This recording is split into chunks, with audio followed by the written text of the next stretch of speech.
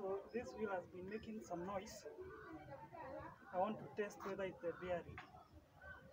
So I've lifted it up. I'm going to start the car and put it on gear to start to make the wheel spin.